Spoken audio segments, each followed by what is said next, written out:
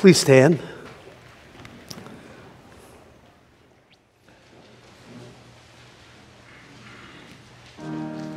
Jesus Christ, you are the light of the world. The light no darkness can overcome. Stay with us now, for it is evening, and the day is almost over. Let your light scatter the darkness and shine within your people here.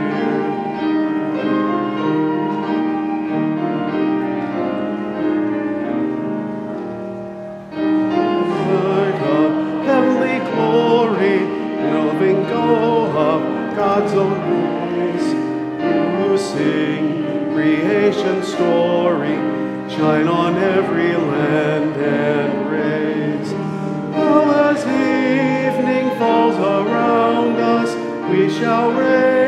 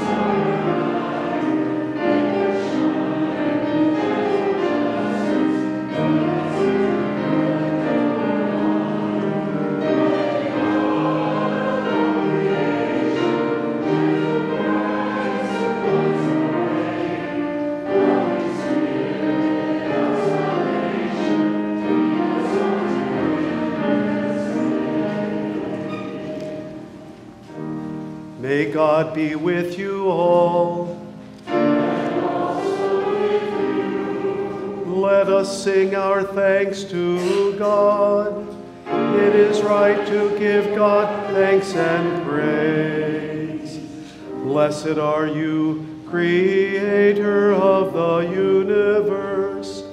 From old you have led your people by night and day. May the light of your Christ make our darkness bright. For your word and your presence are our light of our pathways, and you are the light and life of all creation.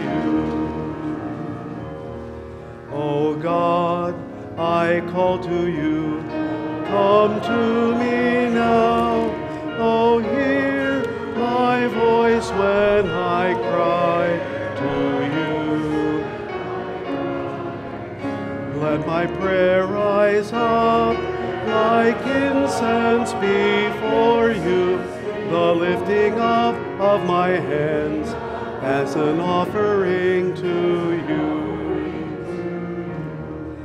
Keep watch within me, God. Deep in my heart may the light of your love be burning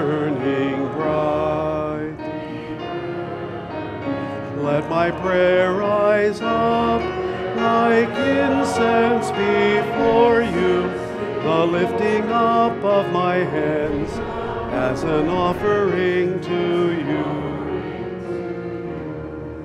All praise to the God of all, creator of life.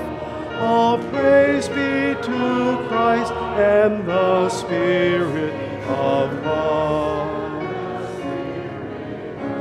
Let my prayer rise up like incense before you, the lifting up of my hands as an offering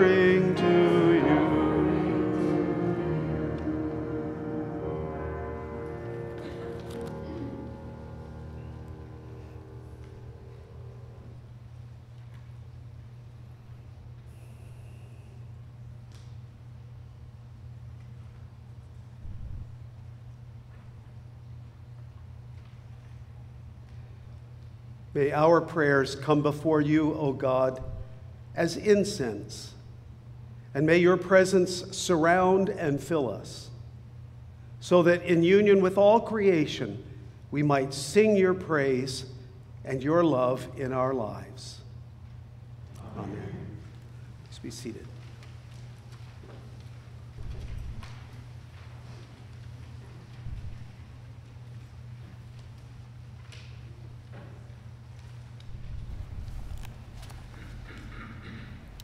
A reading from 1 Chronicles chapter 17. Then King David went in and sat before the Lord and said, Who am I, O Lord God, and what is my house, that you have brought me thus far? And this was a small thing in your eyes, O God. You have also spoken of your servant's house for a great while to come and have shown me future generations, O Lord God. And what more can David say to you for honoring your servant? For you know your servant. For your servant's sake, O Lord, and according to your own heart, you have done all this greatness, in making known all these great things. There is none like you, O Lord, and there is no God beside you, according to all that we have heard with our ears. And who is like your people Israel? The one nation on earth whom God went to redeem to be his people, making for yourself a name for great and awesome things, and driving out nations before your people whom you redeemed from Egypt. And you made your people Israel to be your people forever. And you, O Lord, became their God. And now, O Lord, let the word that you have spoken concerning your servant and concerning his house be established forever.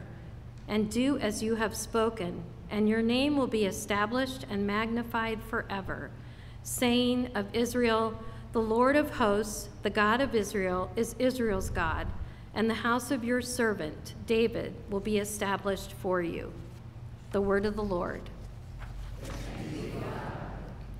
So, author Bruce Hinmar shared this story.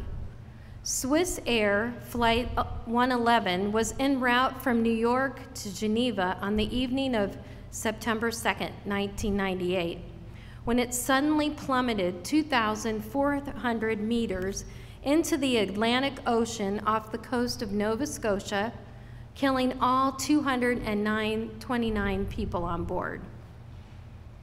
The tiny tourist village of Peggy's Cove was immediately transformed into a command center for the police and, and other emergency officials. Shocked family members arrived to look out over the waves that held their loved ones. An army chaplain went to the water's edge and offered to pray with the grieving family of a 19 year old California student. He led them in prayer and then the family started to sing a hymn in four part harmony. And then followed this with Amazing Grace. The chaplain noticed that all the rescue workers and onlookers were transfixed by the scene. Everyone stopped until they were done. He added, Things like that were going on all day, amazing grace in the middle of incredible sorrow. So it was on the same North Atlantic seas 250 years earlier that John Newton, the author of Amazing Grace, first cried out to God for mercy during a storm that threatened to kill all on board a foundering ship bound for England. The hymn Amazing Grace has endured through two and a half centuries and has become today a powerful symbol for many people of hope during tragedy. John wrote Amazing Grace based on 1 Chronicles 17. And in this passage, King David recognizes that his worth and value come from God. It was God who exalted King David, and it was God who made and fulfilled his promises to him. Knowing that God established us firmly in him by grace through faith, we can confidently draw near to him in prayer. I believe this chapter in First Chronicles spoke to John about what God had done in his life. John experienced God's mercy and grace despite all the terrible things he did in his life. John captained a slave ship and participated in the slave trade. His life was changed and he became an Anglican minister. The grace of God is grace because God treats us with love and mercy, regardless of who we are or what we've done. As we've said, John Newton did terrible things in his life.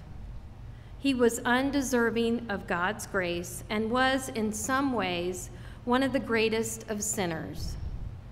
But in the words of St. Paul, what is amazing is that God loves us while we are still sinners.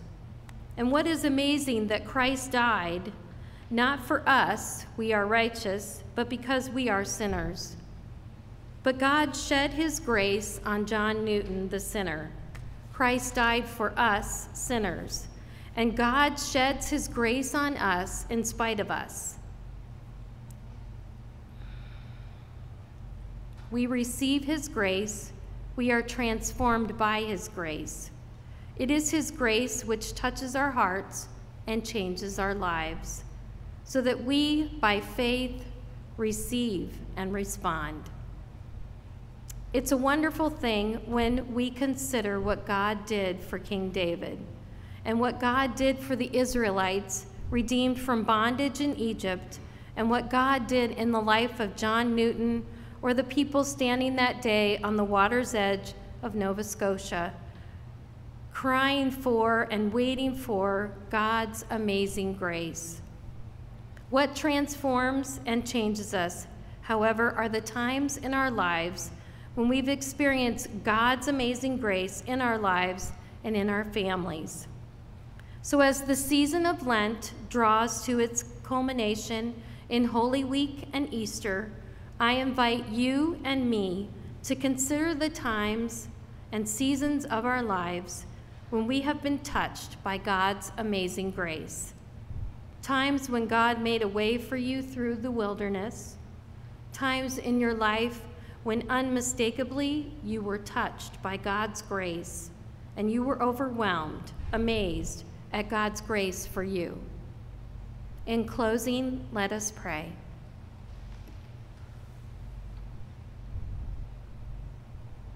Lord God, we thank you for your amazing grace, which you bestow upon us.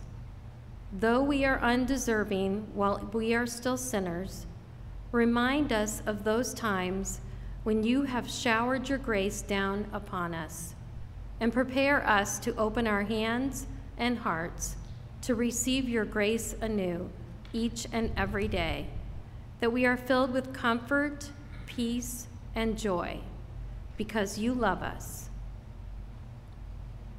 In Jesus Christ we pray. Amen.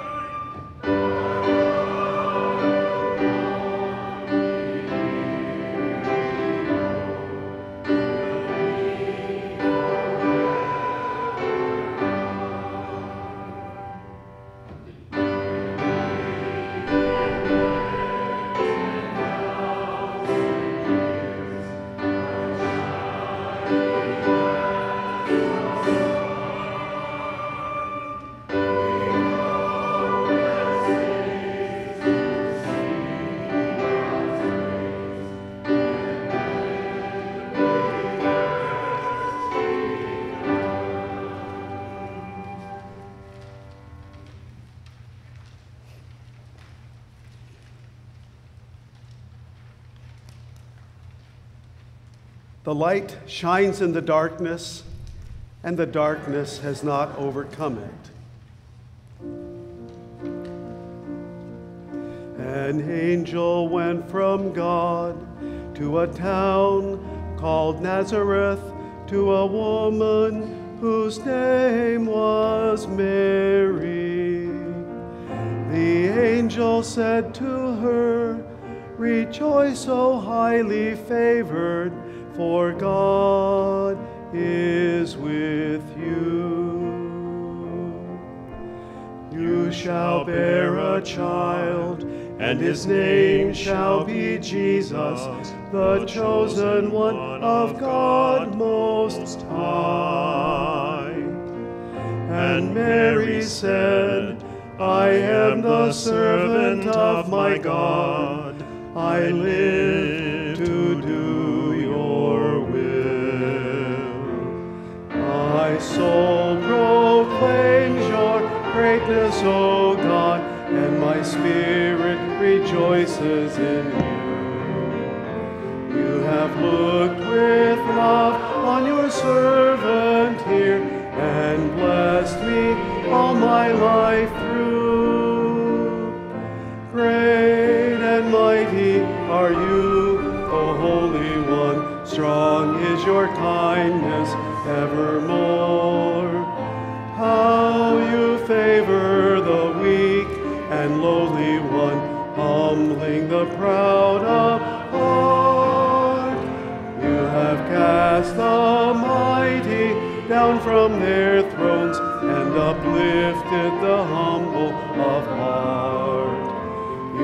filled the hungry with wondrous things and left the wealthy no part. Great and mighty are you, O faithful one. Strong is your justice, strong your love. As you promised to Sarah and Abraham, kindness forever.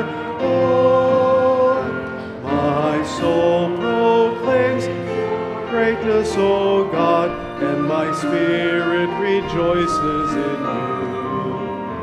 You have looked with love on your servant here and blessed me all my life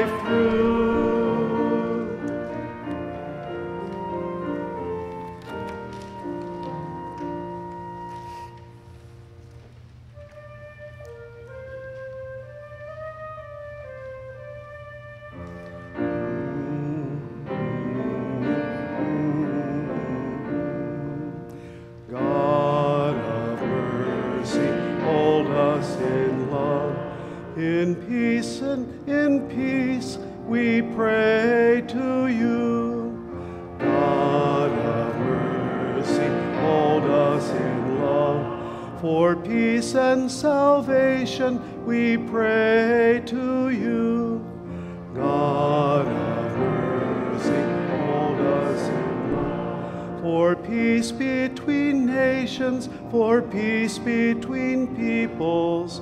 God of mercy, hold us in love. For us who are gathered to worship and praise you. God of mercy, hold us in love. For all of your servants who live out your gospel. God of mercy, hold us in love. For all those who govern, that justice might guide them. God of mercy, hold us in love. For all those who labor in service to others. God of mercy, hold us in love. Grant weather that nourishes all of creation. God of mercy, hold us in love. Keep watch on our loved ones and keep us from danger. God of mercy, hold us in love. For all the beloved who rest in your mercy.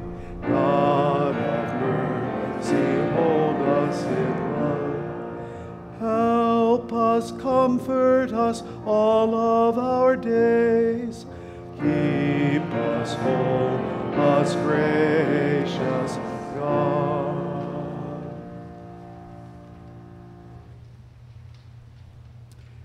Great and merciful God, source and ground of all goodness and life, give to your people the peace that passes all understanding and the will to live your gospel of mercy and justice. Through Jesus Christ our Lord. Amen.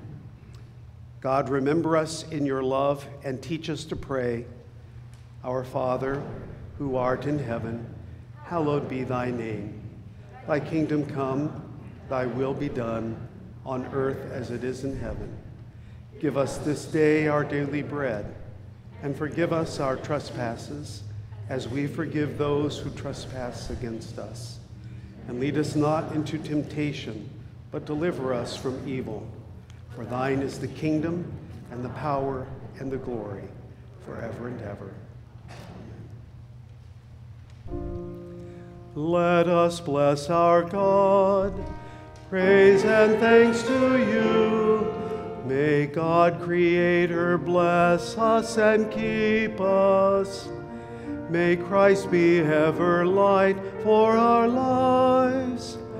May the Spirit of love be our guide and path for all of our days.